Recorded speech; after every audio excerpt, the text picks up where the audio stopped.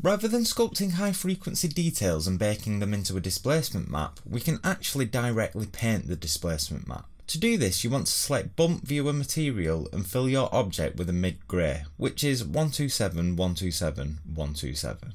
Now grab a paintbrush and any colour you paint above mid-grey will appear to push the geometry out and anything below will appear to push the geometry in. I say appear to because if we change the material you'll see we're not actually affecting the geometry at all. So if you want to erase any details just colour pick the mid-grey to easily pull it back. Now a cool thing we can do is come to texture, create new from polypaint and hit clone texture to bring it up here into the texture menu. Then from here we can hit make alpha which will shoot it into our alpha menu so we can plug it into our displacement map and if we turn on mod we can adjust the intensity of our displacement map. If you enjoyed this tutorial please like, comment, share and subscribe and send sandwiches.